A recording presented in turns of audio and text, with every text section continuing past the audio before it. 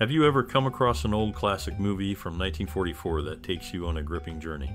Picture this a group of individuals finds themselves stranded in a lifeboat after their ship is sunk by a German U boat during World War II. What makes this movie intriguing is its portrayal of human nature in extreme situations. You witness a mix of emotions, trust, betrayal, courage, and fear all unfolding within the confines of that tiny boat. The characters in the story each have their own unique background and struggles, making them stand out in their own right. Who among them captures your attention the most? As you watch the events unfold, it's hard not to wonder what would you do if you were in their shoes. The movie keeps you hooked with its blend of humor, shock, and sadness, leaving you contemplating long after the credits roll. If you have any personal experiences or memories related to this classic film, we'd love to hear them. Share your stories with us in the comments below. So keep watching for more interesting facts about this timeless piece of cinema. It's a true gem from the past that still resonates today. You won't want to miss it. In the heart of the Atlantic Ocean, amid the turmoil of World War II, a German U boat ruthlessly sinks a vessel carrying peace loving American and British civilians. Eight souls find themselves adrift on a small lifeboat, their fates intertwined in a struggle for survival. Among them is a world weary columnist named Constance Connie Porter, impeccably portrayed by Tallulah Bankhead, exuding glamour even amidst the chaos. John Kovac, played by the heroically handsome John Hodiak, stands as a beacon of strength and wisdom, his past as a Chicago slaughterhouse worker adding depth to his character.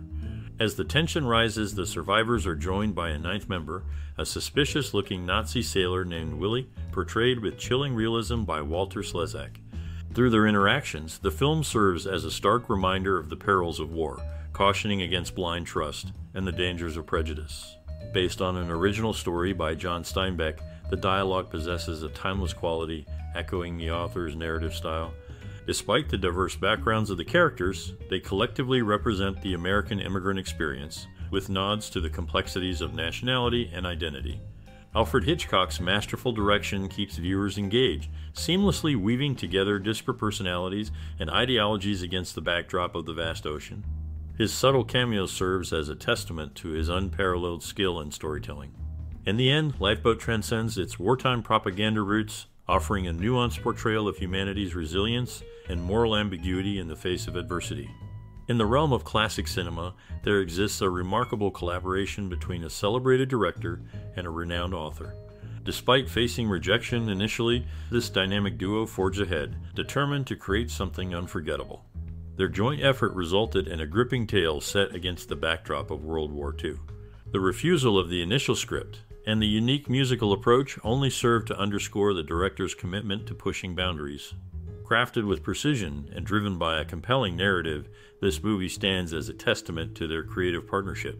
Its impact continues to endure, captivating audiences with its intense storyline and masterful suspense. Indeed, it remains a remarkable achievement in the world of cinema. Arthur C. Miller began as director of photography for the movie, but due to illness, Glenn MacWilliams took over after two weeks of filming. Heather Angel, who played Mistress Higley, had previously portrayed Ethel the maid in a different Alfred Hitchcock film.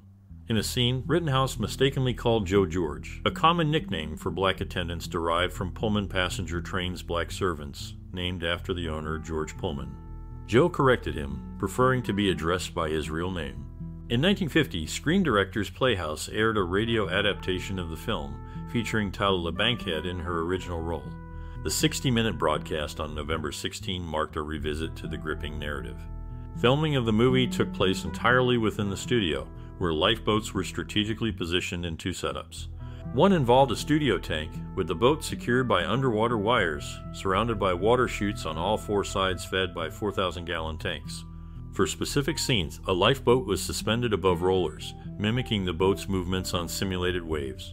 As production began, Mary Anderson, seeking advice from Sir Alfred Hitchcock, inquired about her best side. Hitchcock, in his characteristic dry humor, responded, You're sitting on it, my dear.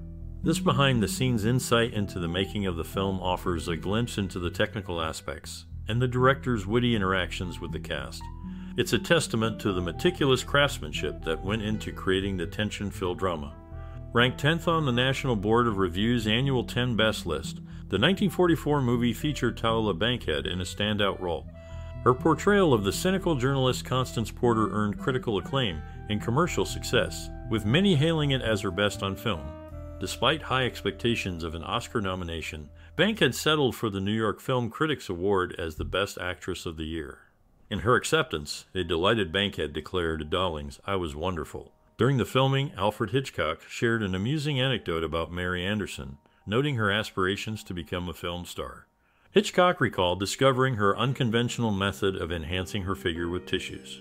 When Anderson inquired about her best side, Hitchcock humorously replied, You're sitting on it, my dear. These anecdotes provide a glimpse into the dynamics behind the scenes, shedding light on the movie's critical success and memorable performances. The film's recognition on the National Board of Reviews list and Bankhead's acclaimed role underscore the significance of Lifeboat in cinematic history. William Bendix joined the cast a few days into shooting when the original actor cast as Gus fell ill. Production finished in November with a budget of over $1.5 million. Hitchcock, the director, had spent so much time in story development and production that he never made the second movie for which Zanuck had contracted him.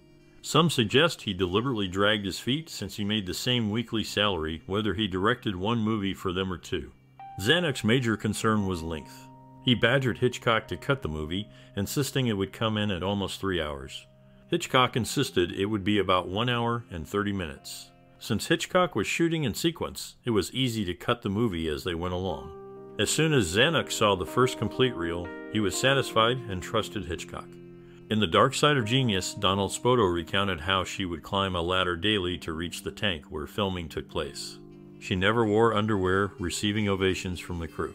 Advised of this, Sir Alfred Hitchcock commented, I don't know if this is a matter for the costume department, makeup, or hairdressing. Hitchcock called in Ben Hecht to read the final script and rewrite the ending. It's the only movie Hitchcock made for 20th Century Fox under Darryl F. Zanuck at the time, being barred by Fox while under contract with producer David O. Selznick. Despite finding success in big cities, the movie faced difficulties in smaller places and the countryside causing it to lose money. Tallulah Bankhead, picked by Hitchcock for her uniqueness, played Connie Porter. He used four boats, two whole and two split in half, to get different camera shots. The contrast between city scenes and peaceful countryside scenes highlighted the story's depth. Also, having Bankhead's mysterious presence against the vast sea added tension and complexity to her character. The play of light and shadow, expertly captured by the camera person, created suspense in each scene. Despite the challenges, Lifeboat showcases Hitchcock's skill as a director and storyteller, gripping audiences with its intense tale of survival and tough choices. During filming, the cast faced harsh conditions, leading to health issues. Tallulah Bankhead and Mary Anderson fell ill, while Hume Cronyn suffered cracked ribs. Production paused twice for recovery. In the German version, maintaining tension was a challenge. Willi pretended to be Dutch, shifting conversations to Dutch to balance English speakers and the porters. John Steinbeck criticized Hitchcock's treatment of Joe Spencer as racist. Despite these challenges, the film's narrative remained compelling, drawing audiences into the intense drama unfolding aboard the lifeboat. The struggles faced by the characters mirrored the real life difficulties encountered during wartime. The director's ability to capture the essence of human resilience amidst adversity was commendable, cementing the film's status as a classic in cinematic history. During the production of the movie, the cast faced challenges like motion sickness and pneumonia due to constant exposure to cold water. Tallulah Bankhead, known for her strong political views, clashed with co star Walter Slezak over his Austrian background and his role as a Nazi character in the film. Bankhead's fierce hatred of Axis powers led to heated exchanges on set, even when Italy surrendered during filming. Walter Slezak's hope for an early end to the war was met with Bankhead's vehement disdain. Despite the tensions, they continued to work together on the film. In a unique cinematic challenge, director Alfred Hitchcock faced a dilemma in making his signature cameo for the film. Originally intending to play a dead body floating from the sunken ship past the lifeboat, Hitchcock feared sinking himself. Instead, he found a safer solution by featuring a newspaper diet ad in the scene. Canada Lee, initially signed for an adaptation of George Gershwin's opera Porgy, and Bess faced a change of plans in 1943. The project got canceled due to conflicts with intended leads Paul Robeson and Lena Horne. As a result, Lee took on a role in Lifeboat for 20th Century Fox.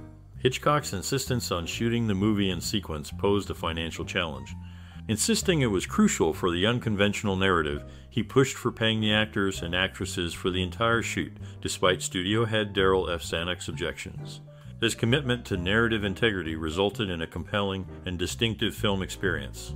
In the midst of World War II's chaotic Battle of the Atlantic, a remarkable story unfolds, chronicling the struggles between the German Kriegsmarine and the Allied forces. This gripping tale involves Great Britain, Commonwealth states, and eventually the United States. During filming, a notable cast member caused quite a stir with her unconventional wardrobe choices. Her lack of undergarments became a point of contention for the crew, particularly during scenes requiring her ascent on a ladder into the set. However, director Alfred Hitchcock addressed the issue with his trademark humor, showing his characteristic wit.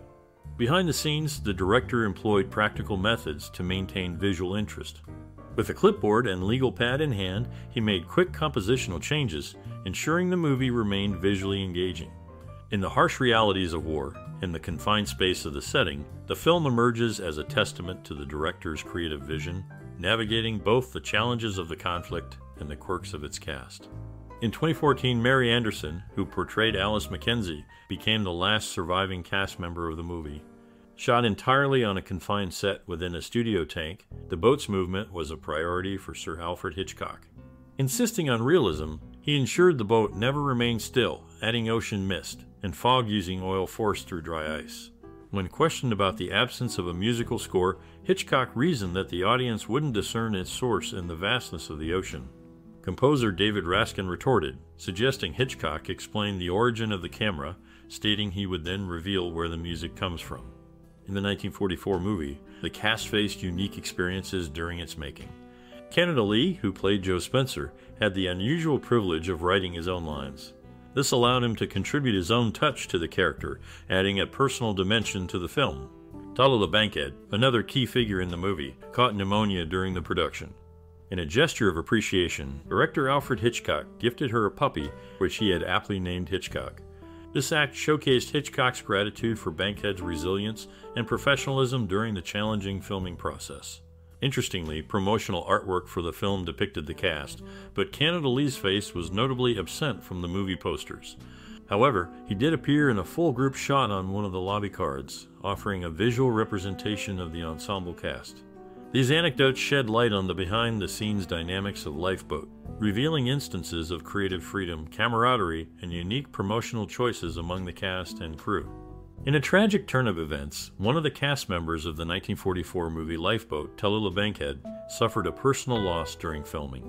Her younger brother, William Brockman Bankhead Jr., a lieutenant in the United States Marine Corps, was killed in action during World War II. Despite her grief, Tallulah Bankhead continued with her performance, demonstrating remarkable professionalism and dedication to her craft. This poignant detail adds a layer of depth to the production, reminding viewers of the sacrifices made during wartime and the resilience of those affected.